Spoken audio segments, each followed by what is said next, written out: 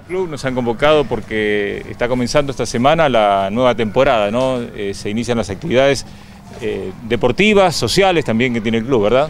Sí, hola, buenas tardes. Es verdad, eh, bueno, yo les voy a, comentar del Club para Todos, que estamos iniciando en los próximos días. Es una actividad que está arrancando su tercer año, con mucho éxito en los años anteriores y la verdad que con mucha expectativa para este año incorporando algunas actividades nuevas eh, al, proyecto, otras que retornan, como la juegoteca. Y bueno, la verdad que esperando que se sumen los chicos, con muchas ganas de recibirlos. Eh, para quien no está al tanto del tema, le comento que nosotros recibimos 100 eh, chicos durante mañana y tarde de hogares vulnerables. Les ofrecemos el desayuno, a los chicos de la tarde les ofrecemos la merienda y de lunes a viernes hacen de todo tipo de actividades que se realizan en el club.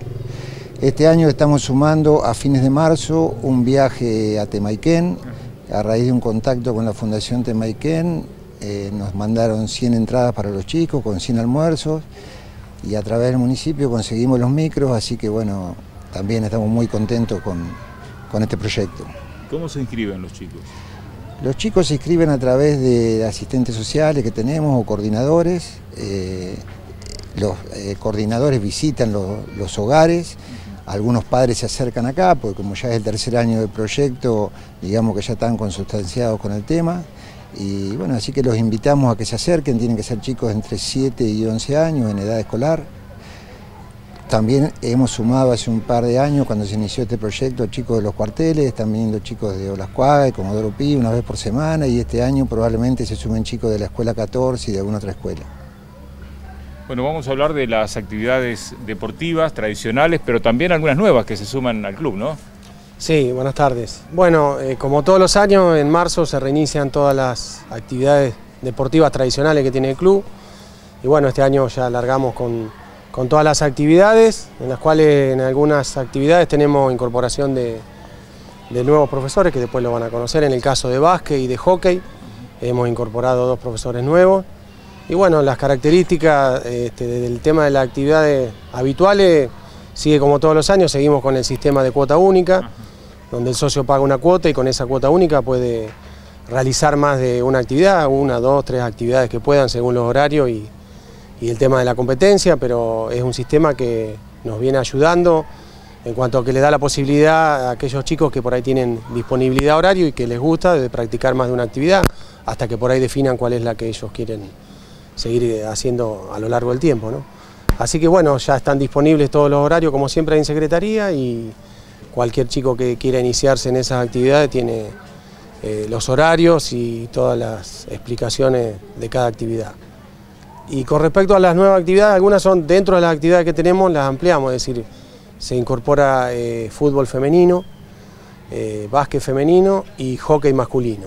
Hoy en día ya lo estamos viendo, incluso a nivel profesional en el caso del fútbol femenino se viene desarrollando y bueno, era un pedido de por ahí de padres que traían a sus hijos varones a practicar fútbol y tenían alguna nena que, que quería practicar o en el caso del básquet lo mismo y bueno, el club siempre está atento a esos requerimientos y Hemos organizado con nuevos profesores también este, esas actividades. Y después tenemos dos actividades que sí son nuevas. Una se trata de iniciación deportiva, es como una guardería deportiva, es para chicos de 3, 4 y 5 años. Y en realidad este, los chicos van a venir este, a, practicar distintas actividades, casi todas las actividades deportivas que se dan en el club.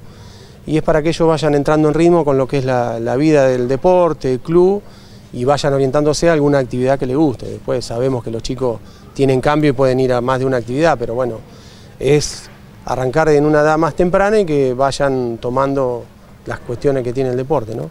Y la otra actividad es de, para adultos mayores, vendría a ser como una continuidad de alguna actividad que hemos hecho acá, que, que es la que se hacía la colonia de PAMI. En este caso es privado, es para todos los adultos mayores, no tienen que ser solamente jubilados, sino cualquier persona que quiera venir a practicar, se van a hacer actividades deportivas, principalmente pileta, la pileta climatizada y otras actividades en el gimnasio y, también acá en el buffet del club que vienen haciendo ya los adultos mayores. Eso va a estar a cargo de Andrés Dunday. Esas serían las actividades nuevas que se incorporan al club. Bueno, se está sumando en esta temporada Martín Montero, Eh, contanos un poco sobre vos, presentate y, la actividad es el básquet, obviamente, ¿no? ¿Qué tal? Buenas tardes. Sí, la actividad es el básquet. Bueno, me toca venir desde Cipoletti. El año pasado estuve trabajando en Cipoletti. Yo soy oriundo de General Pico La Pampa. Eh, nada, la idea de este año es eh, reestructurar un poco la actividad, que está un poco diezmada. Estamos captando chicos de 5 años hasta 17 años en cualquier categoría que le interese sumarse para poder ampliar las bases que tiene el club y a partir de ahí poder desarrollar nuestras categorías formativas. También como contaban nuestros directivos se va a sumar el básquet femenino, ¿sí? en edad de lo que es formación pre-mini-mini, de 5 años en adelante hasta 12 aproximadamente, que va a estar a cargo del profesor Guille Toro, para empezar a incursionar en la actividad y para poder promocionarla hacia adelante y ver si se puede armar también la parte competitiva. Como te decía, la idea es hacer una reestructuración profunda. Nosotros estamos todos los días acá en el club con una banda horaria bastante amplia y la idea es que los chicos se sumen para poder aprender la disciplina y a partir de ahí poder desarrollarlos y con, volver a darle una identidad al básquet Bragado Club. ¿Se pueden acercar en qué horarios? Perdón. Los más pequeños de 5 años en adelante, de 5 y media a 7 y media de la tarde con el profesor Guillermo Toro y los de 13 años en adelante 19, 30, 22 horas van a estar conmigo, es la cancha del club. En cuanto a lo competitivo, decías que la parte femenina todavía no, pero sí con los varones, con la parte masculina se va a seguir con las competencias normales. Exactamente, la, tira masculina va a seguir compitiendo en la asociación de Chivilcoy de básquet y la tira femenina, como lleva un desarrollo aún que es muy incipiente, primero hay que estructurar las categorías y después se verá hasta dónde se puede llegar. Bueno, Lucía Piermatei es otra de las incorporaciones, en este caso para los más chiquitos, ¿no? Contanos. Sí, exacto. Eh, buscamos en el club por ahí destinar un, un espacio para los niños que por ahí están en edades tempranas, que todavía no pueden insertarse en los, deportes. Eh, entonces buscamos este espacio para que puedan hacer distintas actividades y consolidarlos eh, con una base que los pueda llevar para el futuro deporte que elijan el día de mañana. Eh, los horarios van a ser, eh, los días van a ser lunes y miércoles eh, por la mañana de 9 y media a 10 y media y martes y jueves por la tarde de 4 y media a 5 y media de la tarde. Bueno, Clarisa Catoretti, gimnasia artística es lo tuyo, ¿no? Sí, continuamos con gimnasia artística, ya comenzamos ayer con las clases en los horarios habituales que teníamos los años anteriores, que son de lunes a jueves de 17.30 a 20.30 y este año tenemos algunos horarios nuevos que se desarrollan durante la mañana, los martes y jueves y por la tarde temprano, el horario de la siesta, también vamos a proponer un, un nuevo espacio con multiedad eh, como sumada de horarios. Y también eh, lo que proponemos este año, que espero que funcione, ya hay un montón de anotados y un montón de interesados, es la gimnasia artística para adultos, que lo vamos a hacer de martes y jueves a las 20-30 horas. Así que espero que se sumen los chicos desde 3 años en adelante, sin límite de edad, porque este año sumamos adultos. Muy bien. Bueno, Tino López, el fútbol infantil, uno de los pilares del club, ¿no? Sí, bueno, un año más con, la escuela de fútbol, con la tradicional escuela de fútbol, que bueno, como bien decían los directivos, eh, tenemos la novedad ahora de, poder insertar lo que es el fútbol femenino, que para nosotros venía siendo una demanda en la cual, eh, bueno, por fin se pudo canalizar, así que bueno, obviamente esperamos contar, contar con, con las chicas y niñas que quieran acercarse. Y después, bueno, lo que es eh, la escuela de fútbol eh, cotidiana, que tenemos niños desde 3 y 4 añitos en adelante.